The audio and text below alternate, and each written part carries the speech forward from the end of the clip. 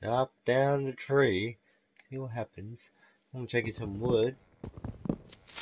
What? What? What was that sound? I don't know. I'm gonna keep chopping. Oh, what? Oh my.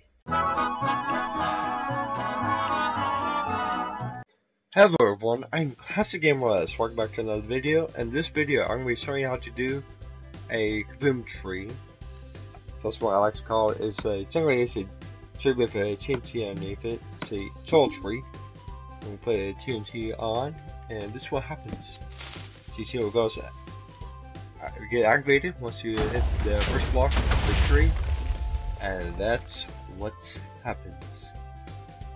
Yeah, pretty scary you're survival mode. Oh, the god, I want to do that. But now, let's get to the build. Alright, all you need a sapling, some bone meal. You can actually do this in survival, just need a few parts. And that's right. But I have a my inventory. All you need is these exact parts. You might need a little more bone meal. That is from the Message and then more TNT. But TNT you can have them as you like. And now let's dig a hole. I need the tray I don't think that might be a good idea.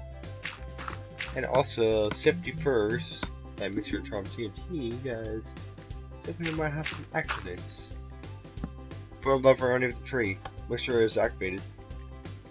Block of choice, which obviously going to be dirt, most of you might choose. And there like that. Let's add more redstone torch. You're going to do yourself a lot of favor for not using a whole lot of torches because now we'll see them again. So you're going to use whole bunch. That's from my wasted torches. If you're doing that in survival, you're creative. You do whatever you want. And now for the TNT, goes right there. Yeah, as much as you want. Make sure it's right next to the torch. Add your dirt back. Keep going. You gotta be perfect. That's some grass blocks right there. And there it is. All I gotta do is turn TNT back on.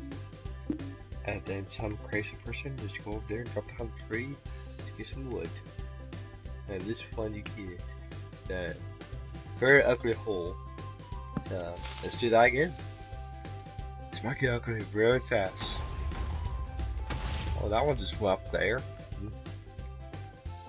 Hey, I hit bedrock. And that's how you build a tree that goes bluey. Kaboom tree. That's what I like to call it. Well everyone, thanks for watching. Don't forget to leave a like, comment, subscribe, and I will see you in the next video.